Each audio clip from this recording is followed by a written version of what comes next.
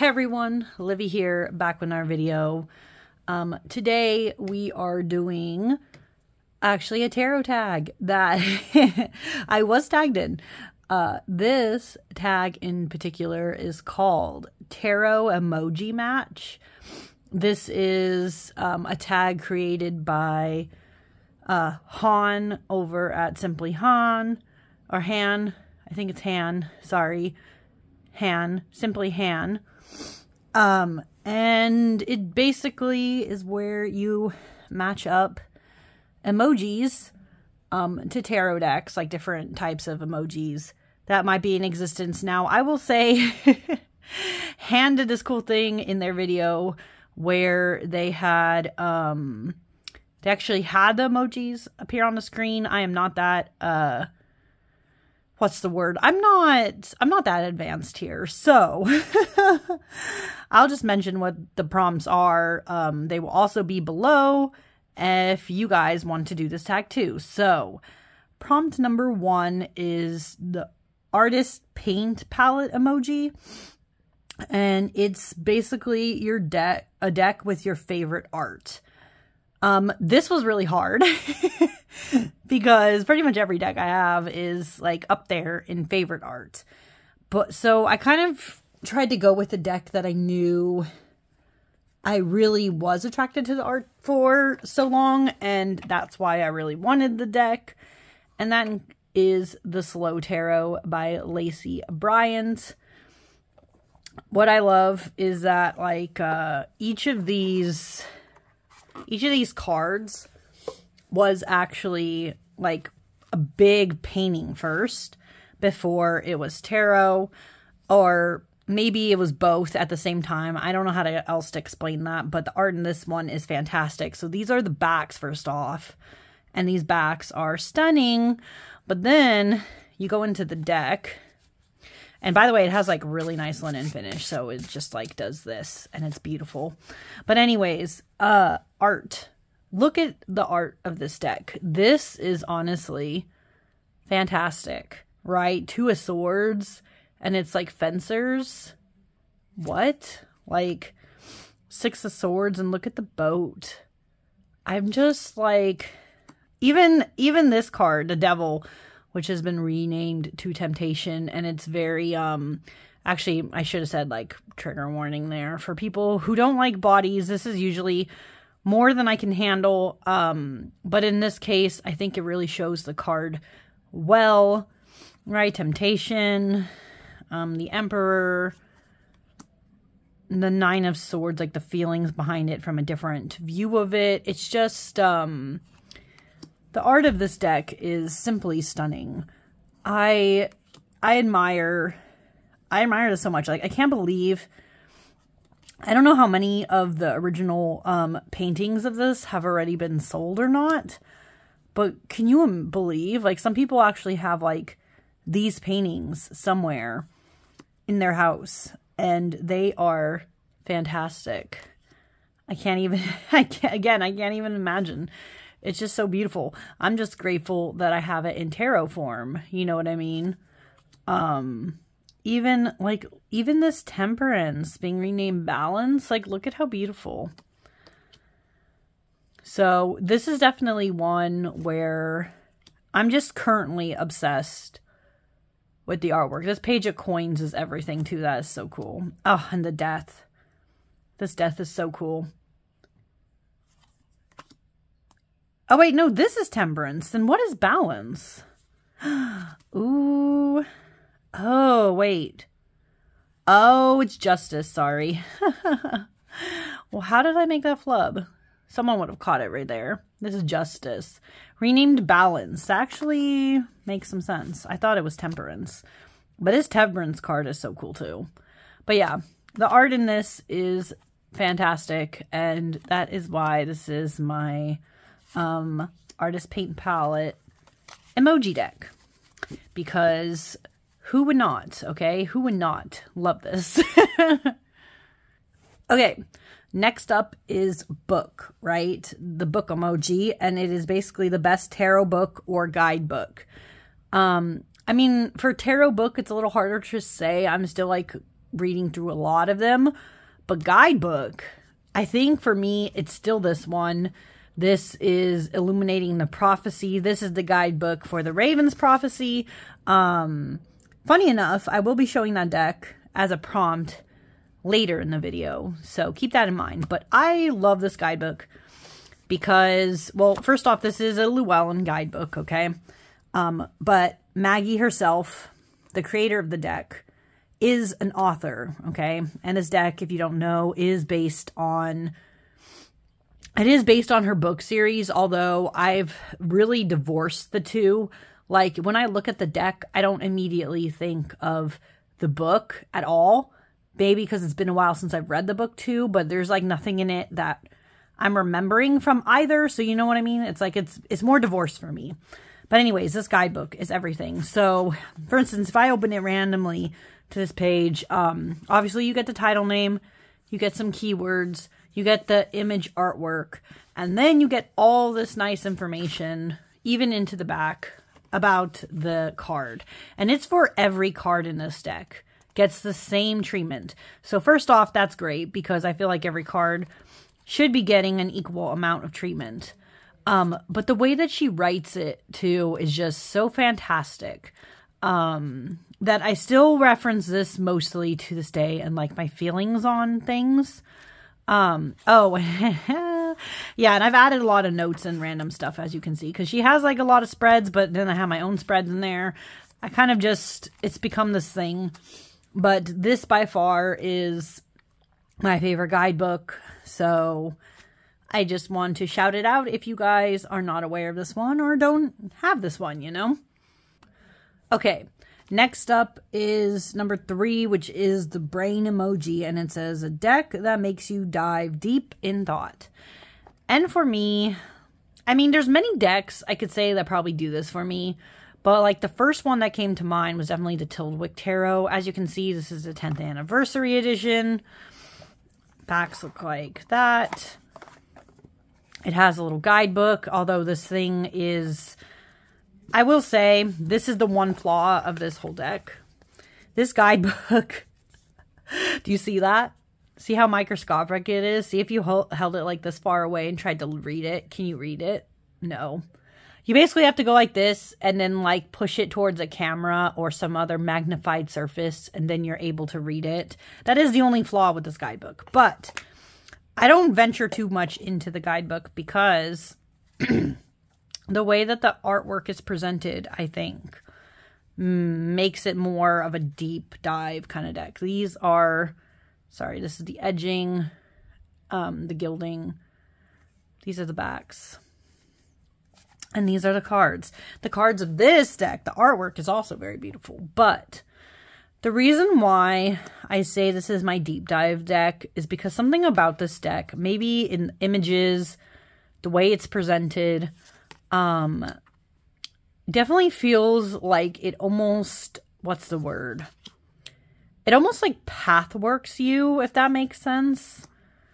Um, you definitely like feel like you kind of go into the cards a bit it doesn't seem like there's a lot, but there's a lot to get out of the image. And it definitely is one that you have to take your time with um, and just really absorb what it's trying to say to you. There's like different parts, of course, of the cards that might even catch your attention at different times. So this is one that, and I would also say this is not a deck in some ways for everyone because obviously you have to first off you have to like the fact that there's no people in this deck there's barely even i don't think animals in this deck maybe like a bird. See like there's like birds in the distance. That's like it. Um it's literally just the scenery and what the scenery is trying to show you. I mean see in the core cards it does this thing. I don't know if you guys see it. See that? There are faces and they are like the embodiment and there's like figures like kind of like this hangman. But they're not real people. You know what i mean um and so it's definitely one where you have to really dig and understand the meaning of, but I just I don't know. I, I just love this deck. you guys know. I've talked about it a lot on this channel. But this is definitely my brain deck because there's just a lot that you just have to be waiting and trying to understand to really get the point of it. But this is the Tildwyck Tarot, and I just love it. Love it. Okay. Uh, now, I know this says tarot emoji match, but I'm not going to lie. The next two decks are actually oracles and sorry, not sorry. I'm cheating for this one. I don't care. These are the ones that immediately came to mind, okay? Um, coffee tea, a deck that makes you feel cozy. Um, I picked one the the first one that came to my mind, maybe because I was working with it in September uh, is this one. This is Thistledown. This is a Three Trees Tarot deck, but this is not Tarot, though. It is Oracle. They're only Oracle to date. Uh, these are the two bonus cards that come with it. Okay, coffee or tea emoji. This is the first one that came to mind for me because this deck is very cozy. It is like a hug in some ways. Um, this deck just really, as an Oracle, this one vibes for me. This one always helps me, well, calm down, to be honest. the deck is like talking to me right now. Uh, it helps me calm down. It helps me reassess myself and understand where I'm at and that that's okay. Um, I, I don't know. I was just, who was I telling? I think I was telling my, um, one of the tarot discords I'm in, I was telling them, uh, I think this is my favorite Three Trees tarot deck so far because it's the one that's like the perfect size for one, um, perfect thinness, and also just has the right keywords, I think. They're like, they're really precise for me and good, and they just work. They've been really effective. Um, so this is the one that makes me feel cozy and I love it for this time of year. You know, we're entering fall. Um, I am tempted to bring this back out, but no, I will not. I'm going to try to use other decks um, this time of year, but it's always very, very tempting and just feels like that cozy fall vibe. So I know, again, this is not a tarot deck, this is an oracle, but I felt like this perfectly fit the prompt. So I just wanted to share this one. So yeah. Okay.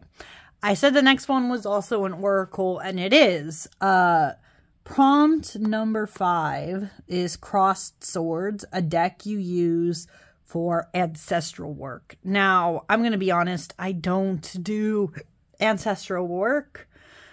At this time, at least, I don't know if I will in the future, but I don't currently. What I do do that's similar and in the same vein, I guess, as ancestral work, um, is occasionally I'll look into some past life stuff. So that deck for that um, is, oop, I think I put that upside down, but that's okay.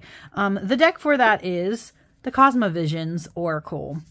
This is a James R. Eads deck. Um, it has this amazing, oh, I don't know if you guys can see it, amazing like uh, gilded edging, as you can see. You can kind of tell it's like this dark color, pearlescent, holographic um, when it's in the light. Not showing up as much on camera, but it's there. Anyways, this deck.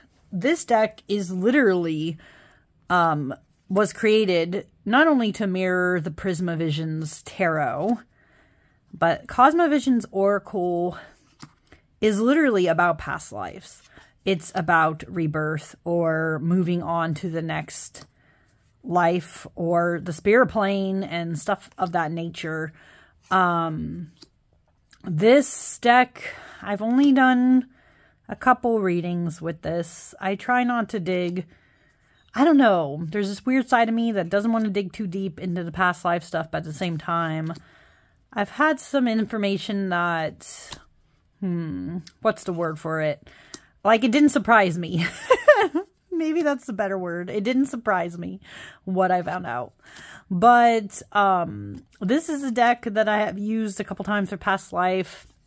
I kind of want to study it a bit more in case other people, ooh, sorry, in case other people wanted like past life readings. Um, but yeah, this is basically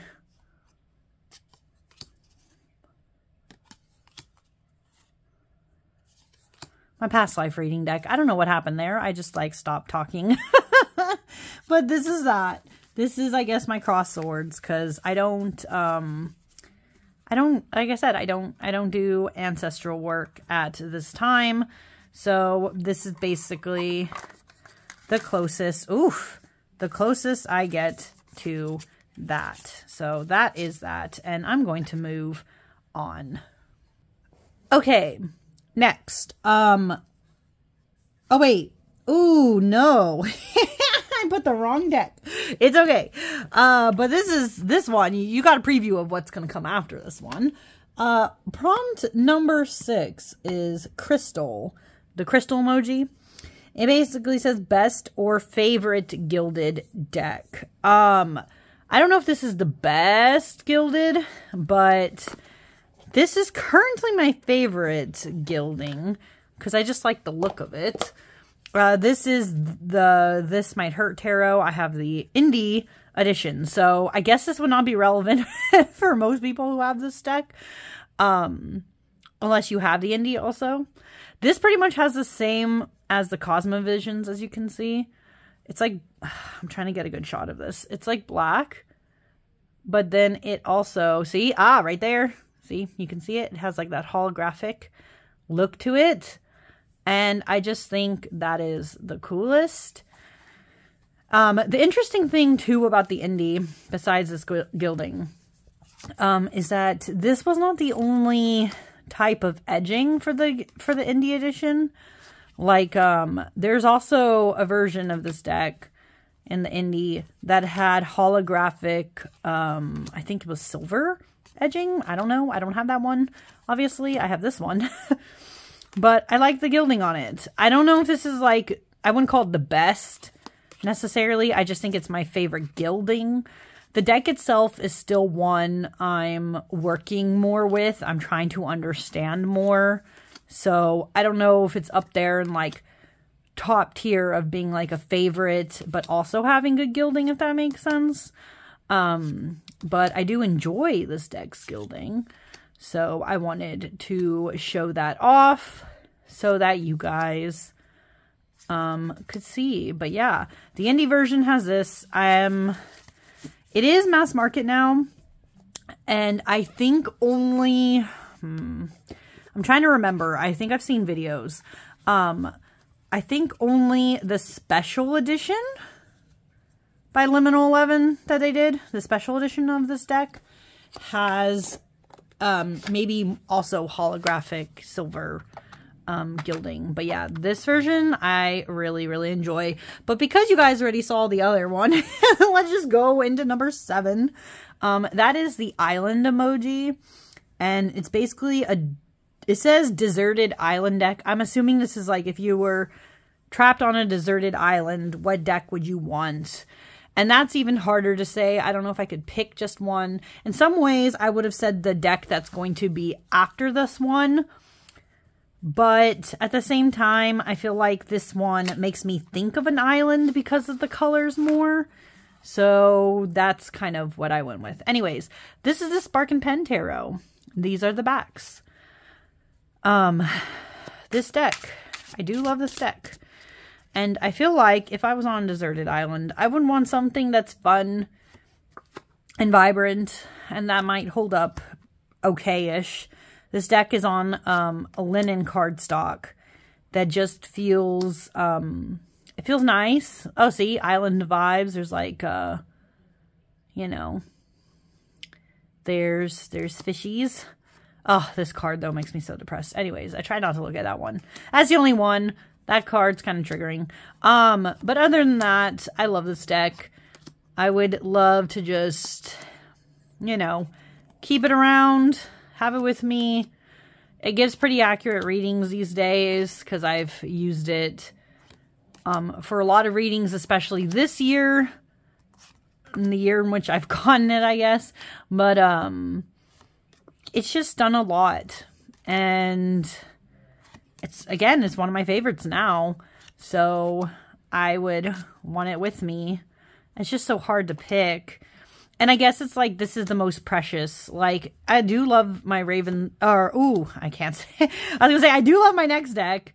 Um and then I'm going to show also a lot. And it's definitely up there. But it is mass market. So if I did have to replace that one, I could. This one it is now in print again, I think. Um, by the creator, but for a while it was out of print, so that also made this more um, precious feeling, but yeah, this is my island emoji. Okay, uh, next up, which is in this one, uh, number eight is the moon emoji, and it says it's your wisest deck, and it is this one that I kind of basically spoiled. Um, this is the Raven's Prophecy Tarot. This goes with the guidebook I showed earlier. I mentioned that, didn't I? Um, the the I have edged this. This my own edging in this uh orange color to match the fronts. I did this. Anyways, this is my copy, my beat up cof- copy. I'm pretty sure I have also um a first printing and well I did actually. I did pre-order this, but I mean like I'm pretty sure it's like a first printing because the cardstock on this deck um, is different than what I've seen it on now. Like now, like you can see that it has a slight shine. Um, but the cardstock it's on now is a lot um glossier and like different textured. I don't know how else to explain that. But anyways, this is my edition. Um, and this is my wisest deck because it just always knows what to tell me. It's got moon energy in it high priestess energy in it. It's mysterious, otherworldly, but at the same time, it always gives me exactly the message I need. This is my oldest tarot deck. And so for that reason too, you know, it has um, a lot of my energy bounded into it. But it is very wise. And it is not afraid to tell me exactly what I need to know these wands are definitely some of the most intense in um, a lot of tarot decks I have, but at the same time, they get straight to the point. So, I don't know. I, I still love them for that reason. Um, but I guess by grace of being the oldest and the most consistent, uh, this is definitely my wisest. Uh, but I love it. I do. Um, and yeah, I would be sad actually. also, like this one was almost my deserted island deck too. Um, I would be sad if I do if I ever lost this copy though, because of this card stock is better um, than Llewellyn cardstock now. No offense, but sorry. Well, no offense, but offense. I don't know. I don't like their their cardstock now. Um, but I just love, I just love this deck. It is so good. Um, and yeah, it's my most accurate reader, and for that reason, also my wisest. Okay, only two more prompts, but prompt number nine is the plane emoji, and that is basically a deck you use when traveling. Um, I, I'm showing two copies basically of the same deck because when I've traveled, this is probably the deck I have used the most in more recent times. This little itty bitty version is still the Monsoon Tarot. But as you can see, it is microscopic almost. and that is why I have traveled with this one. Okay? It's very tiny though. Um, but I love it. And these are the backs of the mini. This was my first version of this deck. Originally, I just got the mini. Um, and I was tickled pink by it because it is hilariously small. I have small hands in general. Um, but this deck is even small in my hands, so it's like hilarious. Uh, but other people have encountered the mini and have been like, yo, what the fuck is this? And that's okay. I take this though traveling for a reason because as you can see, it is um small. But for the purpose of showing you this deck, that's why I have the bigger version that I bought afterwards because I was like, you know what, I do love this deck. Um and I want a bigger copy of it. But the backs of this one have this like darker border. Still the same though, pretty much. Anyways, Monsoon Tarot. Why have I traveled with this deck the most? I think it's just because for the longest time, not anymore, but for the longest time, this was my smallest deck. And because it was so small, it was just easy to literally fit into any bag without having to worry about space.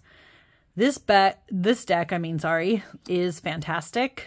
Um it's not for everyone because I think to really understand this deck, you kind of have to understand I think fundamentally you have to be very fantastical, like understanding the fantastic and also understanding dreams. This is a very dreamy deck. This is about how dreams work. How some of them are very nonsensical and out there.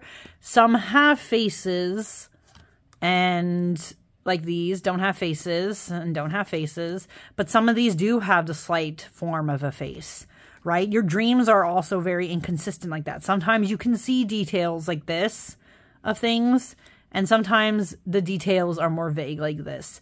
It's just understanding that that's the art style um, the creator of this deck decided to go with, okay? But obviously, these no faces, faces creep some people out. What's interesting is this same creator, I don't know, it doesn't say on here. God damn it. I don't know um, does not say. Cool. Um, don't know. But this creator did come out with another, technically two tarot decks because of this. Like, because some people were not jiving with the monsoon. They created, um, oh shoot, what are they called? I forget their full name, but they have a Silent and Awaken edition. That's an important thing. I have my co own collection, but I haven't used them yet. Um, but I also have the itty bitty minis of those. But in that, in the Silent edition, you see no faces still, and in the Awaken edition, you do see faces. So they like purposely did that because of people's thoughts to this deck originally. But anyways, that was a whole tangent just to say that I traveled with this deck for the longest time because it was the easiest deck, right? The easiest deck to work with. Um, and because it was so small, it was easy to carry around. And it was just a fun time. So yeah, this mini, I still love this mini. I still, I'm sorry, it's so cute and little to me. Like, look at it. It's it's fantastic. but not everybody, not, I know, not everybody would appreciate this, but that's okay. Um, but if you have the mini, you know. if you actually really like it, you know, this is a fun time. Um, and it's just very easy to travel on a plane with. Okay, finally, um, prompt number 10 on this video is the ribbon emoji and that is the last deck that was gifted to you. Now, I'm going to be honest. Uh, people don't gift me tarot decks. I have basically... Oh, sorry. Wow, I had like a weird... there we go. I need to cough. Um, People don't gift me tarot decks. But um, my husband, who does know I, you know, do tarot, he did... Funny enough, we were on a trip a little bit ago and he kind of did enable me to get this one. It was like the one and only time he was like, yeah, you know what? This is fake. Go ahead, get this deck. Um, so it's almost kind of like a gift from him, even though I, I paid for it. but he he actually like encouraged me to get this one and he almost never does. He's like, please stop. please don't please don't bring any more decks. But um this was kind of like that interesting like seal of approval from him so i'm counting it as my ribbon deck. This is the insecta obscura tarot. Um if you are robin at robin's reflections and for some reason you decide to watch this video you know already you know the drill you don't need to watch this or you can stop watching now because this is a deck of bugs. Um if you don't like bugs mm, maybe skip the rest of this but basically this is a deck that shows um bugs but inside the bugs are like surreal images that relate to the tarot cards in question. As you can see, these are the backs, and this is also a square deck. Um, not everybody likes square decks for some reason. I kind of do. Although this one kind of reaches the limit of like what I can hold around my hand. But anyways, that's not that's not the important part. This is. Um Insecta Obscura. I am starting to use it for the month of October. At the time of me filming this, it is technically the end of September, but I will be using this in the month of October. And I already did a week ahead reading with this. Um, I I like this deck. I do. I think this was fun. It was funny that he, my my husband, was like, yeah, go go ahead, go go get this one. This seems like fate. If you've been interested in this one and you finally saw it in person, then that's a sign that you should grab it, you know? And um I am surprised how much I like this. I'm not going to tell you I'm like um the biggest proponent ever of bugs, you know? I mean, like this kind of bug, if I saw this kind of bug in real life, like this centipede-ish like bug, I'd be freaked the fuck out. Um, but I love the way that the bugs are presented here. I do like moss. I do like um certain beetles. Not really wasps though. I think all the blades are wasp types. I don't remember. Um and I'm not necessarily a big fan of spiders either. But there's like, I don't know, I have weird exceptions of bugs that I uh, don't mind at all. And so I just think this deck is so cool. Like, look at this. The moon. I mean, yeah, it's a Luna moth, but at the same time, you see like an owl's face in it. Like, that's what I mean. It's just a very different deck. Um, very cool. Different way of showing things. Um, and it's for that reason that I just really like this deck. See, look at this. The Four Blades is literally like, it says a great black wasp, but then there's like an anchor in it to show like you rest here, stop here. And it's just so cool. Even like the world as the globe wanderer. Like, look at that is so cool. I don't know. I'm just jazzed. I like this one. but anyways, uh, that's, I guess, the end of my video. This was a fun one. I don't always connect to all the emojis because I feel like I don't always use them all, but I was tagged. And so I wanted to try and do this one um, while I remembered. so I'm filming this now. But anyways, if you've watched this long, thank you so much for watching. And I will see you again next time. Bye.